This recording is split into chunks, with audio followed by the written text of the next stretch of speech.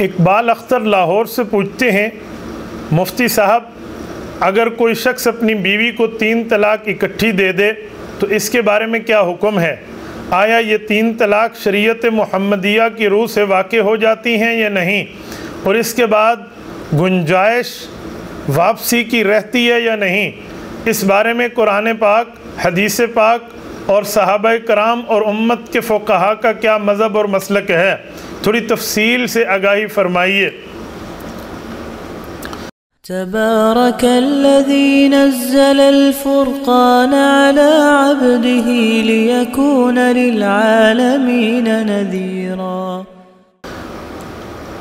बेटा इकबाल इस बारे में एक बात जहन में समा लीजिए जिस तरह निकाह हो जाता है इस तरह तलाक देने से तलाक भी हो जाती है। लेकिन तीन तलाक इकट्ठी देना ये शरीयत में महबूब नहीं है, शरीयत में मुनासिब नहीं है। शरीयत इससे रोकती है कि ये गलत काम है। तीन तलाक इकट्ठी नहीं देनी चाहिए, लेकिन इसका ये माना और मतलब और मफहूम नहीं है कि किसी ने बदबख्ती करते हुए तीन तलाक इकट्ठी दे दी हैं तो वो होंगी भी नहीं।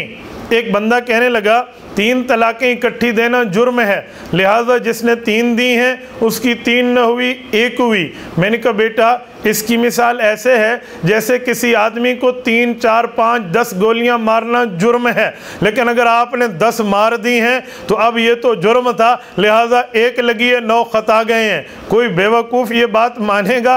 वो कहने लगा, जी, ये तो कोई नहीं मानेगा। मैंने कहा, बेटा, ऐसे है। फिर वो कहने लगा, मुफ्ती साहब, आप अकल की मिसाल पेश करते हैं, कुरान और हदीस से दलील दीजिए। मैंने कहा, बेटा, तुमसे मेरी दी हुई मिसाल नहीं टूटती, मेरी दी हुई दलील कैसे टूटेगी? चलो मैं कुरान करीम पढ़ देता हूँ। दूसरा पारा है, अल्लाह रब्ज़त ने तलाक के हकाम सूरत नंबर दो सूरतुल्बकरा में यूँ बयान फरमाए हैं। फरमाए अतलाक मर्रतान फ़िम साकुम बेमरूफ़िन अव तसरीहम बेहसान अल्लाह रब्ज़त फरमाते हैं, दो तलाक़ें जो पहली हैं, उनका हुक्म ये है, अगर एक दी या दो दी, उसके बाद ये बंदा बीवी को रख भी सकता है, छोड़ भी सकता है। और आगे जाकर अल्लाह पाक तीसरी तलाक का हुक्म अलहदा बयान फरमाते हैं, क्योंकि दो तलाक़ों के बाद रुजू की गुंजाइश है, तीसरी के बाद गुंजाइश नहीं है। तो रब फरमाते हैं फ़िन तल्लक़ा फ़ला तहल्लुमिनबादता तन के अजन गैरा।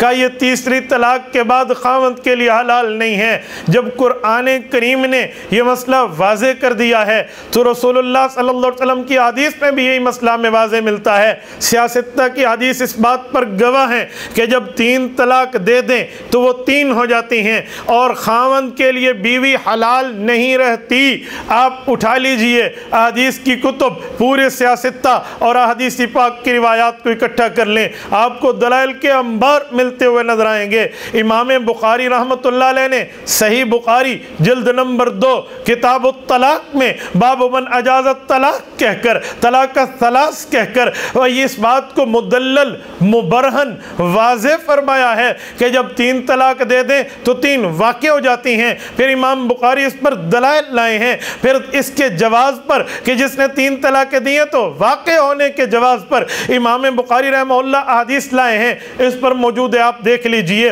ऐसी कोई बात नहीं है।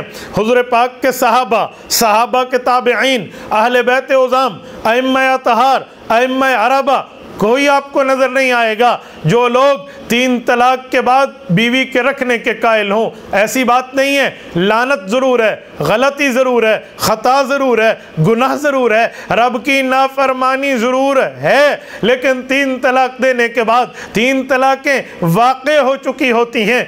एक बंदा मुझे कहने लगा, मौलाना, सही मुस्लिम आपने नहीं पढ़ी? मैंने कहा, बेटा, पढ़ी भी हैं और मैं सही मुस्लिम का अलहमदिल्ला पोजीशन होल्डर भी हूँ और सही मुस्लिम कई साल से पढ़ा भी चुका हूँ और मैं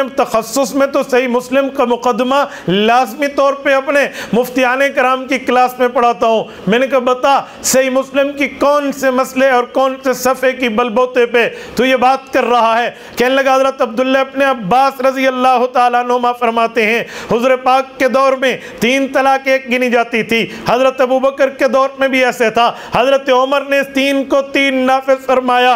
मैंने कहा, मेरे भाई, इसमें कहाँ लिखा है कि हुजूर गिनते थे? कहाँ लिखा है? अबू बकर गिनते थे। कहाँ लिखा है? उमर गिनते थे। ये तो एक वाक़ बयान हो रहा है। हुजूर के दौर में जिन लोगों तक दीन न पहुँचा, उन्होंने तीन को एक समझा। हज़रत अबू बकर के दौर में एक समझा। हज़रत उमर के इब्तदाई दौर में एक समझा। इससे आपने क्या निकाल लिया? मैंने कहा, इससे यही निकाला कि ये हुजूर फरमाते थे, अबू बकर फरमाते थे। तो तेरी खाम ख्याली है। इसी तरह एक रिवायत और भी है। ये सही मुस्लिम में है, सही रिवायत है कि मुता हुजूर के दौर में होता था, अबू बकर के दौर में होता था, हज़रत उमर ने मना किया। मैंने कहा, जब तीन तलाक के वाले मसले पर तो हुजूर और अबू बकर के दौर में नौजुबिल्ला इस गलत काम में मुलवस कर रहा है। फिर मुते की जवाज का कायल बनना तुझे पड़ेगा। तू कहेगा, हुजूर के दौर में मुता था, लिहाजा मैं भी करूँ, अबू बकर के दौर में था, मैं भी करूँ। हज़रत उमर ने मना किया। मुझे कहने लगा, मौलाना, उसका मतलब ये है कि हुजूर पाक के दौर में वो लोग करते थे, जिन तक हरमत हराम होने की इत्तला नहीं गई थी। अबू बकर के दौर में भी हरमत की इत्तला नहीं थी। हज़रत उमर ने सरकारी फैसला नाफज फरमाया, वही जो हुजूर ने पहले करार दिया था तो जिन तक इत्तला थी, उन्हें भी पता चला। जिन तक इत्तला नहीं थी, उन्हें भी पता चला। अब पूरी दुनिया के मुसलमान रुक गए। मैंने कहा, बेटा, सच उसे कहते हैं, जो सर चढ़ के बोले, जो जुमला तूने कहा है, वही जुमला इस सवाल का जवाब है। हुजूर पाक के दौर में जिन्हें पता नहीं था, वो एक समझते। अबू बकर रज़ी अल्लाह के इब्तदाई दौर में जिन्हें पता नहीं था, वो एक समझते। हज़रत उमर ने सरकारी हुक्म नाफिज फरमाया तो तीन तीन गिनी गई। मसला उनको भी पता चला, जिन्हें पहले इल्म था, उन्हें भी पता चला, जिन्हें पहले इल्म नहीं था।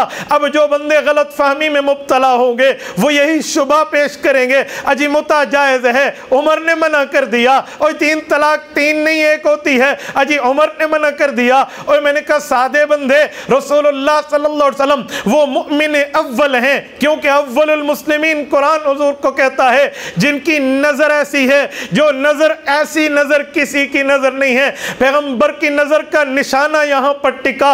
हुजूर पाक ने फरमा दिया, लोगों, जब फितने आम हो जाएँ, मिशकात जल्द अव्वल सफ़ा तीस की रिवायत है। अलैकुम बिसुन्नति व सुन्नतिल मेरे तरीके को देखना, अबू बकर, उमर, उस्मान, अली अनहुम के तरीके को देखना उमर फारूक, उन्हीं खुलफा में दाखिल है।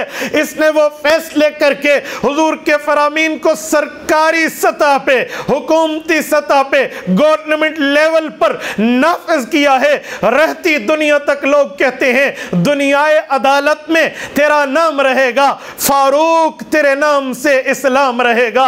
याद रखना, आपने पूछा है कि अम्मा अरबा का मसलक क्या है? यही मसलक साहबा का, यही मसलक ताबेइन का, यही मसलक फोकहा का, यही मसलक तमाम अकाबिर का है।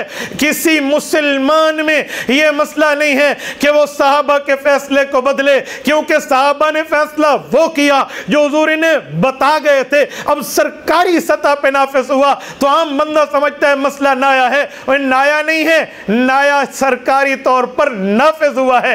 यही मसला लेकर हज़रत उस्मान चले, हज़रत अली चले, हज़रत मुआविया चले, हज़रत अब्दुल्ला बिन जुबैर चले रज़ी अल्लाह यही मसला लेकर इमाम आज़म अबू हनीफा चले, इमाम शाफी चले इमाम मालिक चले, इमाम अहमद इबन हम्बल चले, हज़रत दाता अली अजवेरी चले, शेख अब्दुल कादिर जीलानी चले, इमाम गजाली चले, मुल्ला अली कारी चले, ये सारी उम्मत यही मसला लेकर आ रही है।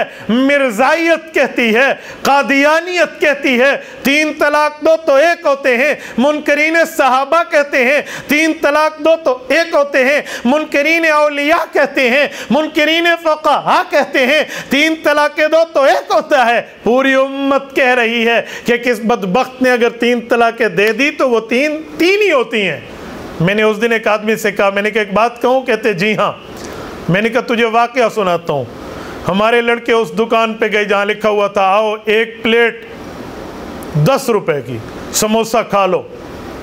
एक बच्चे ने गया, तीन समोसे एक ही प्लेट में ले लिए और खा लिए, दस रुपए दिए।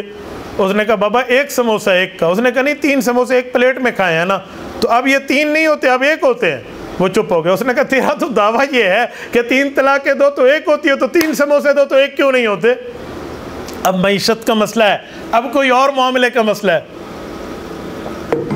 तो अब बेचारों को पता नहीं है, इस वजह से उल्टी सीधी बातें करना शुरू कर देते हैं। इसीलिए तीन तलाक के बाद बीवी हराम है। बिल्कुल वापस नहीं आ सकती। जब अल्लाह ने जो ऑप्शन दिए, वो ज़ाया और ख़त्म हो गए। अब आप कौन है कि आप हरामकारी की बुनियाद पर उन्हें वापस लाएँ? अल्लाह ताला में महफूज फरमाएँ।